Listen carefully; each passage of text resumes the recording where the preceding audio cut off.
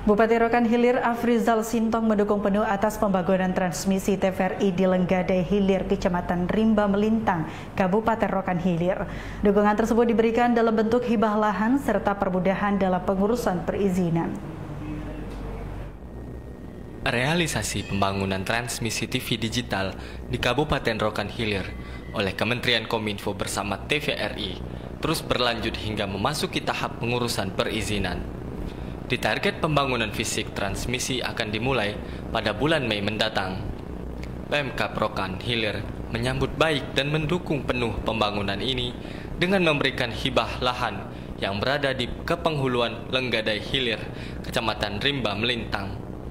Tak hanya itu, Pemkap Rohil juga akan mempermudah segala pengurusan perizinan yang berkaitan dengan pembangunan transmisi tersebut.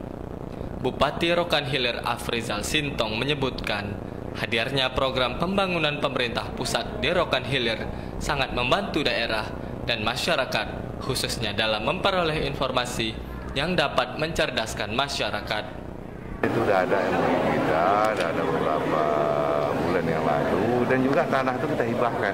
Itu tanah kita, tanah kita yang di tanah merah itu kita hibahkan ke TVRI supaya nanti artinya kita di baik media elektronik maupun media apa uh, supaya betul-betul bisa uh, mengabarkan berita bantu pemerintah tentu ya uh, untuk menyampaikan berita-berita yang akurat yang dipercaya masyarakat itu ya.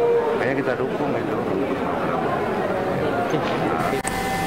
Dari pihak Pemda sendiri dalam hal ini Pak Bupati sangat mendukung secara penuh untuk uh, proses pembangunan uh, tersebut, proyek tersebut dan uh, beliau berpesan kepada para stakeholders khususnya yang di terkait perizinan untuk dapat segera bisa proses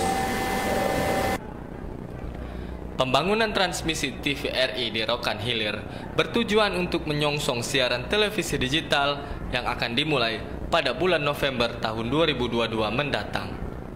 Yadi TVRI melaporkan.